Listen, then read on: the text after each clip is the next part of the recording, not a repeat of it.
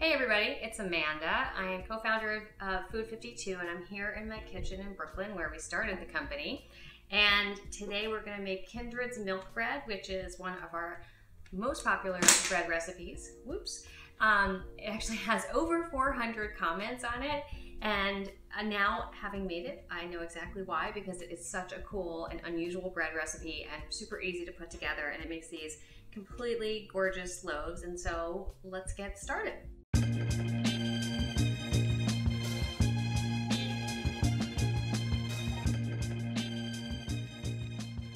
It starts at the stove, which is really unusual for a bread recipe. So the first thing we do is we make a roux with a uh, one cup of water and a third of a cup of bread flour. And then we're gonna stir it and we're gonna cook it until it thickens, which is gonna take about five minutes.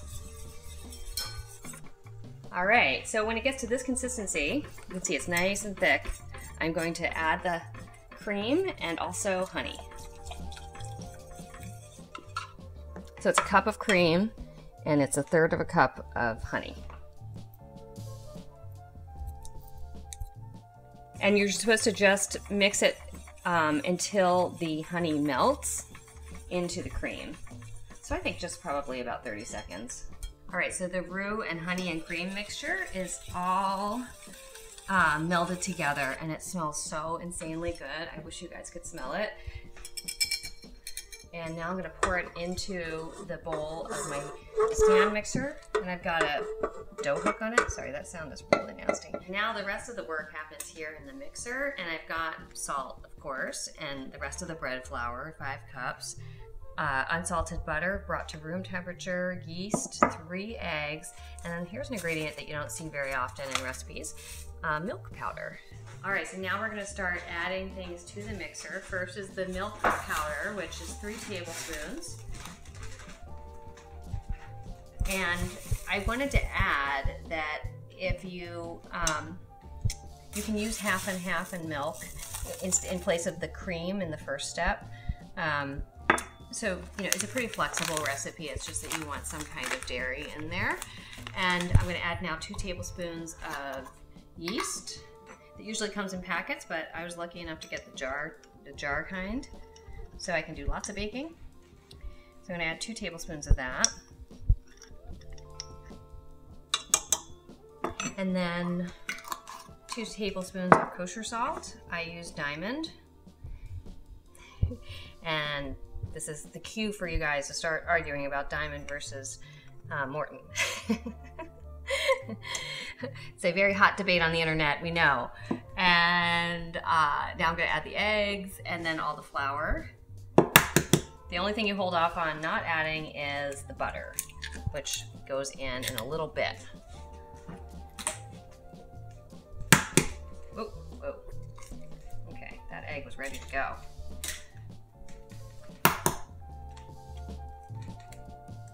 Okay.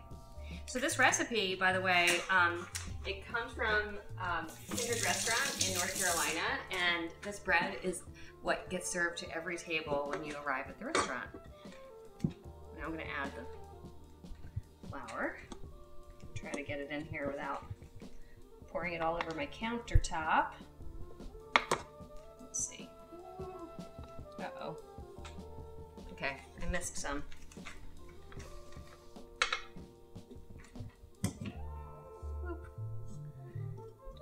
Little sprays here and there. Okay, now, here we go.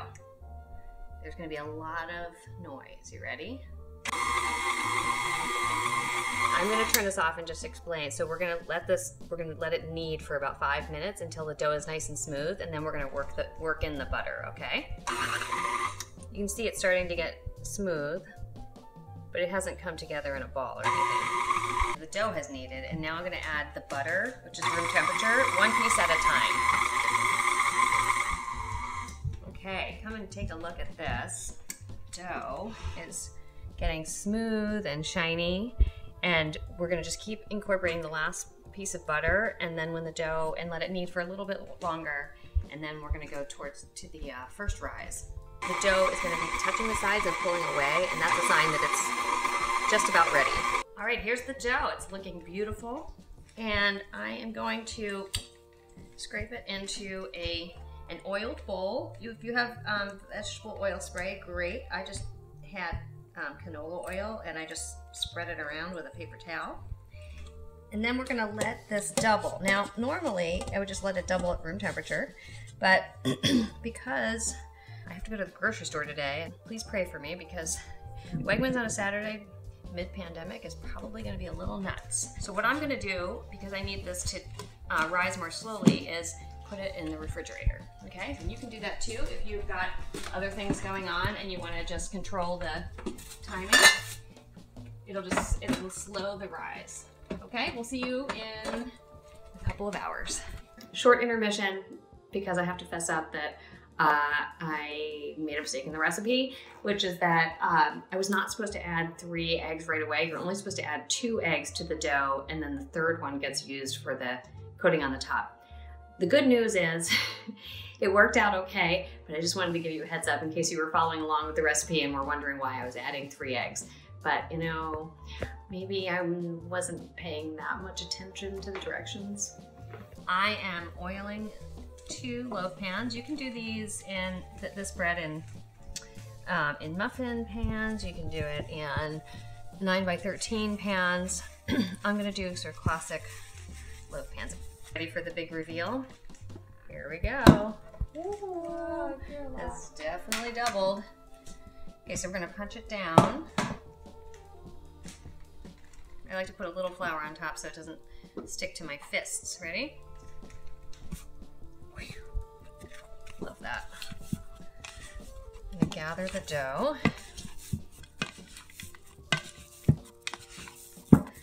And I'm gonna turn it out onto a lightly floured board.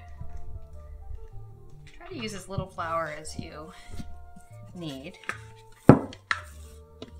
Okay, so what they have you do is divide this into 12 pieces. So you do not have to be precise. Okay, so I'm gonna take each of these little nuggets and just lightly shape it into a ball.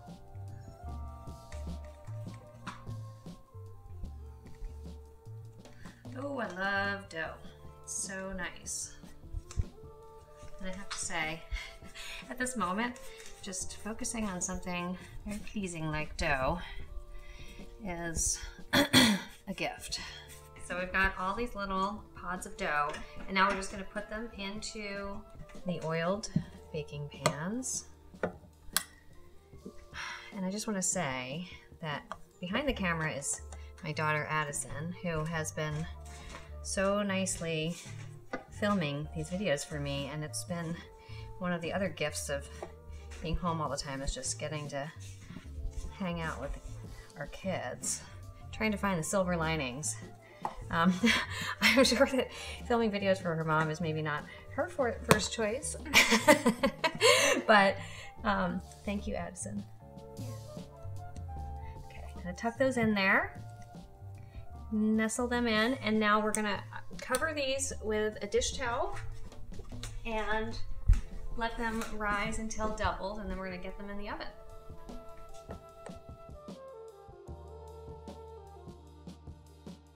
We are back, and our bread has risen. Doesn't that look lovely? So I've got an egg in here. I'm gonna beat that with a teaspoon of water.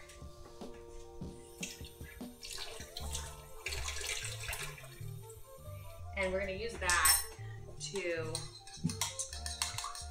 I'm gonna brush this on top, give it a nice shiny coat, and then um, the oven's at 375. There's different baking times for different shapes. With the, with the loaf pans, you wanna bake it for about 50 minutes to an hour.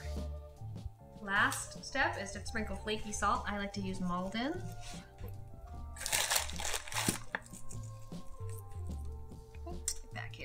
Okay, and then we are going to put them in the oven. And I'm gonna flip them, turn them uh, 180 degrees about halfway through. Bye-bye. we have some beautiful bread inside. Here we go. Ooh, look at that beauty. Yeah, that one there. Get the second one. Oh, so nice. Okay, so we are gonna let those beauties cool and then take them out of their little sleep sacks slash pans. Um, and then we're gonna have some nice bread to eat. Do you want the soft inside or the crunchy outside? Um, either one is fine. Okay, since you have braces, I'm gonna give you the soft inside. Okay, here we go.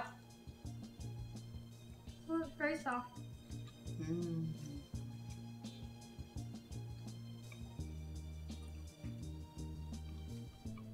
Bye, everybody. Highly recommend it. Um, if you have any questions or any comments, please leave them below. We'll get back to you. Um, also, come follow us on Instagram. Uh, subscribe to our channel. Really But gonna be back with more. All right. Bye.